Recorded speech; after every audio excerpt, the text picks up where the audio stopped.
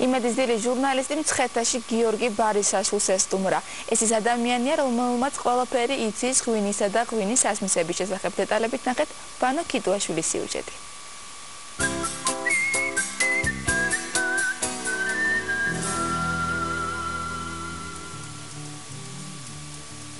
18 საუკუნის ბოლოს სვეტიცხოვლის მოწვარმა დეკანოს რომანოს პრევლიშვილმა სვეტიცხოვლის ტაძრის უკან სახლი აშენა.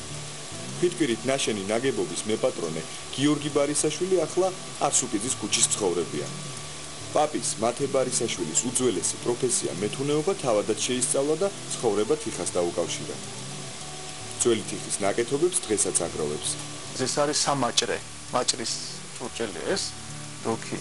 აი ეს არის უკვე აი ეს არის ახალქალაქური კასპის რაიონში არის ესეთი ახალქალაქი და იქაური კერამიკა განთქმული იყო. ეს არის ბოდბისხეული კახური ქიზიყი ეს არის გოზაური. ეს დოქი არ არის. ეს განსხვავებული სახელი აქვს. ეს არის ქართლის კოკა რომელიც არის 30 ლიტრიანი. პროფესიით მეღვინემ ვაზის კულტთან დაკავშირებულ ნივთებს საპატიო ადგილი მიუჩინა ეს არის გაქოვებული ვაზი, ფაქტცეული ვაზი, რომელიც ნაპოვნია მესხეთში. ერთ-ერთ გამოქვაბულში ნამარხი იყო და როცა პერიოდის შემდეგ გაქვავდა. ანუ რამდენიმე 1000 რამდენიმე 1000 წლისაა. ყველა სარვაძლე უფლებას რომ ხელში აიღოს. იყო მოსული ერთი ავსტრიელი ჩემი სტუმარი აქ და ითხრა მაშინ საკმაოდ დიდი ფული შემომთავაზა სხვათა შორის რომ მომყიდეო და რა თქმა უნდა არ მიყიდე. ძველი მარანი საკუთარი ხელით განაახლა. ეს გერბი მე ვიპოვე ამ მარანი ში. დაახლოებით 10 წლის წინ და იმის მერე ინახება მიწაში იყო გაახრიტე და ესე კედელზე მივამაგრე. მართალია ბაგრატიონებს არ უკავშირდება ეს სახლი თვითონ. მაგრამ რახან იყო ეს აქტა? მე ჩავთვალე რომ ეს რაღაცა მნიშვნელოვანია. ფიტკრით ნაშენ კედლებში მალე პატარა მუზეუმს გახსნის.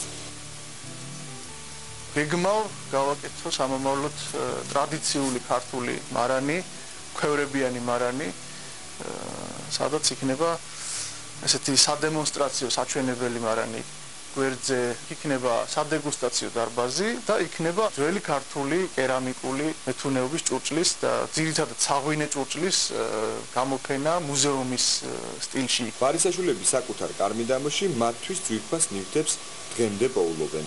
აი ეს არის ბრინჯაოს პატარა თოხი ესეთი დამღები აქვს და ისეთი დაახლოებით როგორც გორდას აქვს, გორდახმარს აქვს ნაჭდევი დამღები რომელიც აი ამ გარეთ ეზოში არის აღმოჩენილი მე პირადად ვარავდი იმიტოს ვამუშავებდი და იქ ვიპოვე შემთხვევით და მე ერთ-ერთ არქეოლოგს ვაჩვენე და მითხრა რომ არის არქაული ძალიან ძალიან ძველი.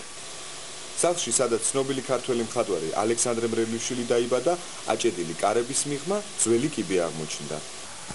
ეს კიბე თავიდან იყო დალუქული ანუ კარებები აჭედილი იყო და არ ჩანდა აქ კიბე არის თუ რა რა არის საერთოდ და საფეხურები არის ძველი ძველი მუხის ძელები მუხის ძელებისგან არის აი საფეხურები შიდა კიბეა საკმაოდ ვიწროა მაგრამ პრაქტიკული ძალიან. ღვინოს უთქვამს მომიარე და მოგივლიო.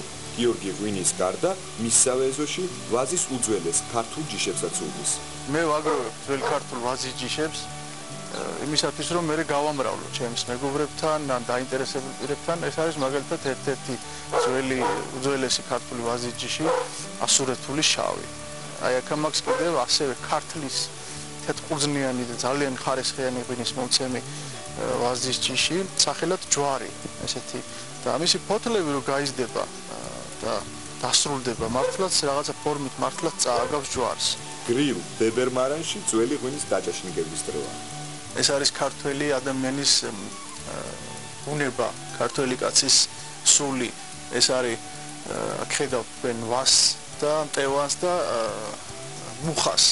ეს არის მუხა არის ქართველი კაცის სიძლიერე და ვაზი არის ქართველი კაცის ქართული სული და ყოვლადწმინდა სამების ნიშანი, სამი ნიშანი.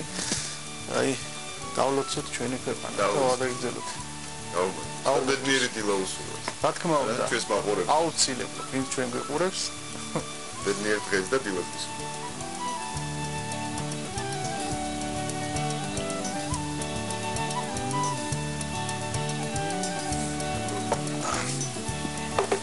ასე ვერ დაგეცხრა